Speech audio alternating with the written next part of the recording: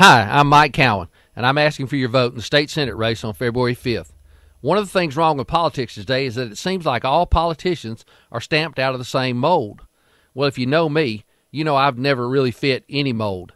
I'm a Baptist pastor who drives a race car on Saturday nights. But I can guarantee you this I'm running for one reason to serve you. Regardless of what anyone in Atlanta wants, you will always come first. And you'll always have my cell phone number so you can get me when you need me. I'm Mike Keown, and once again, I'm asking for your vote on February 5th. Paid for by the committee to elect Mike Keown for Senate.